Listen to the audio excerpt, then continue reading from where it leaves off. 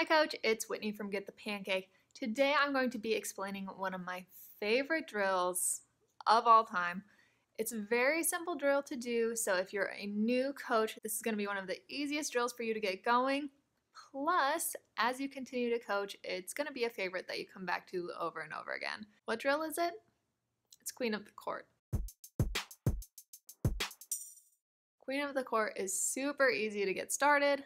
So let me go ahead and show you how to run it. One simple way to run Queen of the Court is to have three players get on each side of the net. Any remaining players will get on one side of the net in three different lines, each corresponding to a position on the court, either left side, middle, or right. As a coach, you're going to position yourself off to the side with a full ball cart. Now the goal of this drill is to end up on the winning side, which is what we're going to call the queen side. This is the side opposite of where the coach is. And that's it. That's the drill setup. You're ready to get started. All you need to do is grab a ball and throw it across the net.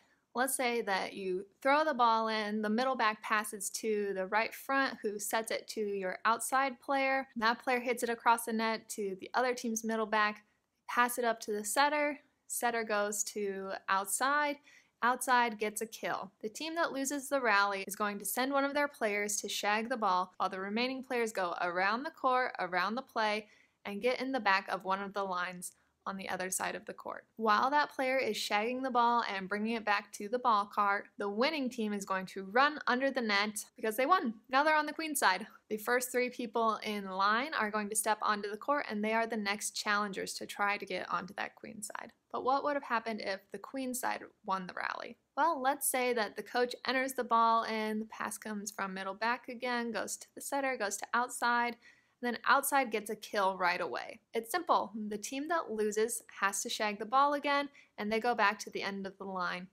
Everyone who's first in line steps onto the court, and you're good to go. I would set aside about 10 to 15 minutes to run this drill. That way you don't have players getting bored. It is a very high energy game though, so you'll get a lot of competition, you'll get a lot of touches on the ball, and You'll sprinkle in some conditioning because there is a lot of shagging and constant running. I really think you'll like this drill and continue to use it throughout your coaching career. But the way I've shown in this video is not the only way to run Queen of the Court.